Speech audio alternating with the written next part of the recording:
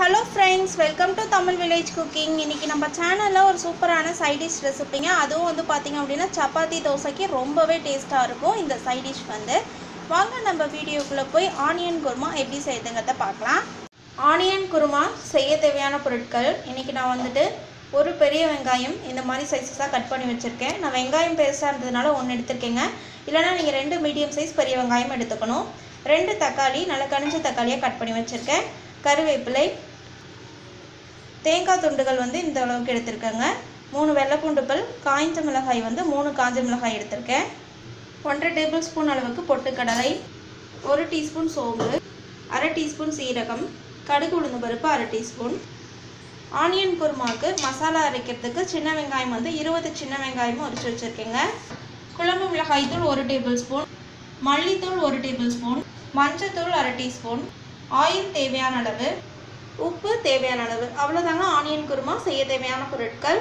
இப்போ வந்து ஆனியன் குருமாவுக்கு மசாலா அரைக்கிறதுக்கு வதக்கிக்கலாங்க. அதுக்கு கடாய் வச்சு ரெண்டு ஸ்பூன் அளவுக்கு ஆயில் ஆட் பண்ணிக்கிறேன். ஆயில் சூடானோடனே சின்ன வெங்காயம் ஆட் பண்ணிக்கலாங்க. அது கூடயே சோம்பு ஆட் பண்ணிக்கலாம். கருவேப்பிலை. இப்போ வந்து இது எல்லாமே சேர்த்துட்டு நல்லா இந்த மாதிரி வதக்கிக்கலாங்க. இப்போ வந்து இதில் பொட்டுக்கடலை ஆட் பண்ணிக்கிறேன். அது கூடயே வெள்ளைப்பூண்டுப்பல் ஆட் பண்ணிக்கலாம். காய்ஞ்ச மிளகாய் தேங்காய். இப்போ இது எல்லாமே ஆட் பண்ணிவிட்டு நல்லா இந்த மாதிரி வதக்கிக்கலாங்க. தேங்காய் வந்து நம்ம துருவி சேர்த்துருந்தா தான் அடி பிடிச்சிருக்கும். ஆனால் இது வந்து சிலு சிலாக சேர்த்துருக்கிறதுனால அடி பிடிக்காதுங்க. நல்லா இந்த மாதிரி நம்ம வதக்கிக்கலாங்க. இப்போ இதில் வந்து தக்காளி ஆட் பண்ணிக்கிறேன். நான் வந்து ரெண்டு தக்காளி கட் பண்ணி வச்சுருந்தேங்க. அதில் வந்துட்டு பார்த்தீங்கன்னா ஒன்றரை தக்காளி அளவுக்கு நான் இதில் சேர்த்துருக்கேன். அது கூட மஞ்சத்தூள் ஆட் பண்ணிக்கலாங்க. இப்போ இதெல்லாம் சேர்த்துட்டு ஒரு டைம் மிக்ஸ் பண்ணிக்கலாம். இப்போ இது வதங்கிறதுக்காக கொஞ்சம் உப்பு ஆட் பண்ணிக்கிறேன். ஆட் பண்ணிவிட்டு எல்லாத்தையும் சேர்த்துட்டு நல்லா இந்த மாதிரி வதக்கிக்கலாங்க. தக்காளி வந்து கொஞ்சம் சாஃப்ட் ஆகிற அளவுக்கு வதக்கினா போதுங்க. இப்போ தக்காளி வெங்காயம் எல்லாம் நல்லா வதக்கியாச்சுங்க. இப்போ இதில் வந்து ஒரு ஸ்பூன் அளவுக்கு குழம்பு மிளகாய் தூள் ஆட் பண்ணிக்கிறேன். அது கூட ஒரு ஸ்பூன் அளவுக்கு மல்லித்தூள் ஆட் பண்ணிக்கிறேங்க.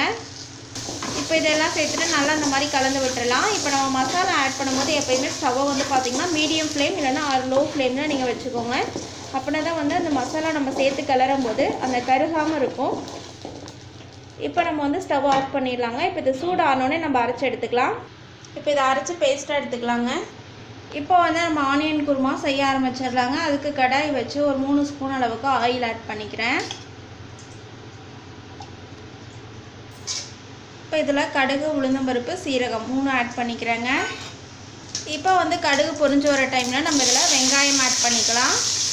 வெங்காயம் வந்து நீங்கள் இந்த மாதிரி கட் பண்ணிக்கலாங்க. அப்படி இல்லை நீங்கள் அந்த நீள நீளமாக கூட கட் பண்ணிக்கலாம். இப்போ இது கூட கருவேப்பிலை ஆட் பண்ணிக்கிறேங்க. கூட தக்காளியும் சேர்த்துக்கலாம். இப்போ இதெல்லாம் வதங்கிறதுக்காக உப்பு ஆட் பண்ணிக்கிறேங்க.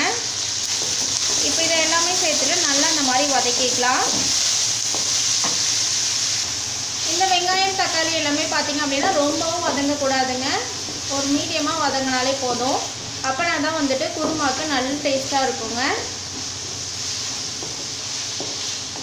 இப்போ வந்து இதில் நம்ம அரைச்சி வச்சுருக்கக்கூடிய மசாலாவை ஆட் பண்ணிக்கலாம்.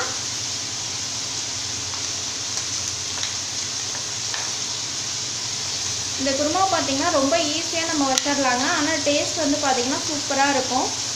நம்ம சப்பாத்திக்கு செம்ம டேஸ்ட்டாக இருக்கும். அதே மாதிரி நம்ம தோசைக்கு ஊற்றிக்கலாம் ரொம்பவே டேஸ்ட்டாக இருக்குங்க. இப்போ நம்ம வந்து சேர்த்துன மசால் வெங்காயம் தக்காளி எல்லாமே ஆட் பண்ணிவிட்டு நல்லா அந்த மாதிரி கொஞ்சம் வதக்கிக்கலாம். இப்போ வந்து இதில் தண்ணி ஆட் பண்ணிக்கலாங்க. நான் வந்துட்டு மசாலா அரைச்ச ஜார்லேயே அலசிட்டு தண்ணி ஆட் பண்ணிக்கிட்டேன்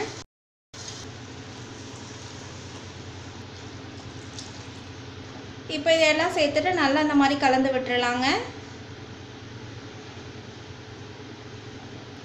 இப்போ நம்ம வந்து இந்த ஆனியன் குருமாக்கு பேஸ்ட் அரைச்சி சேர்த்தோம் இல்லைங்களா? அது வந்து பார்த்திங்க அப்படின்னா ரொம்ப நைஸ் பேஸ்ட்டாக அரைச்சிடக்கூடாது. கொஞ்சம் குறை குறைப்பாக அரைச்சாதாங்க இந்த மாதிரி குருமா வரும். அதே மாதிரி டேஸ்ட்டும் நல்லா இருக்குங்க. தேவையான அளவு உப்பு ஆட் பண்ணிக்கிறேன். இப்போ வந்து குருமா வந்து ரெண்டுலேருந்து மூணு கொதி நல்லா கொதிச்சு வரட்டுங்க. ஒரு மூடி போட்டு மூடிடலாம். பாருங்கள் ஆனியன் குருமா நல்லா கொதிச்சு வந்துடுச்சுங்க. இப்போ ஃபைனலாக வந்துட்டு ஒரு ஸ்பூன் அளவுக்கு ஆயில் ஆட் பண்ணிக்கிறேன். கொஞ்சம் கொத்தமல்லி இலை தூவிக்கலாங்க. தூவிட்டு ஒரு முறை நல்லா இந்த மாதிரி கிளறி விட்டுறலாம். அவ்வளோதாங்க சூப்பரான ஆனியன் குருமா. செமையாக ரெடி ஆகிடுச்சு இந்த ரெசிபியை உங்கள் வீட்டு கிச்சன்லேயும் மறக்காமல் ட்ரை பண்ணி பாருங்கள் ட்ரை பண்ணி பார்த்து பிடிச்சிருந்துச்சுன்னா எங்கள் தமிழ் வில்லேஜ் குக்கிங் சேனலை லைக் பண்ணுங்கள் கமெண்ட் பண்ணுங்கள் சப்ஸ்கிரைப் பண்ணுங்கள் அப்படியே கூட இருக்கக்கூடிய பெல் ஐக்கானையும் ப்ரெஸ் பண்ணிடுங்க அப்போ தான் நாங்கள் போடுற வீடியோஸ் உங்களுக்கு உடனுக்குடனே வந்து சேரும். இந்த வீடியோ உங்களுக்கு பிடிச்சிருந்தா ஷேர் பண்ணுங்கள் தேங்க்யூ